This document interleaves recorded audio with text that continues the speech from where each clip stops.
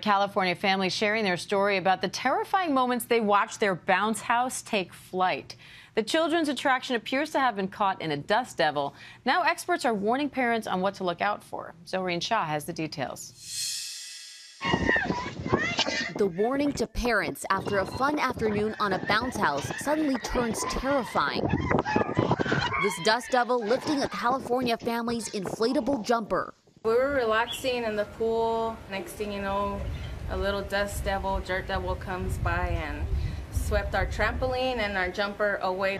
Watch as someone tries grabbing the inflatable. The jumper flew up like a hundred feet and you just seen it, seen it like spin and landed on the neighbor's house. The family relieved no one was injured. It was very dangerous, very scary. The twister-like wind also flipping their trampoline, their truck stopping it from rolling further. I cracked my windshield, my antenna. We have seen bounce houses on the move before. Looks like a bouncy house flipped over. In 2022, this inflatable slide tipping in Long Island, hospitalizing several children.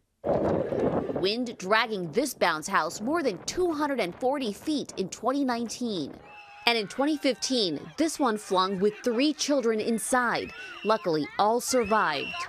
A University of Georgia study tracking wind related bounce house incidents from 2000 to 2021 saying they accounted for nearly 500 injuries and at least 28 deaths. The injuries can be varied, but you can have more severe injuries because even though the bounce houses look cute and cuddly, if they're flying in the air and they hit you, you can suffer a concussion or worse.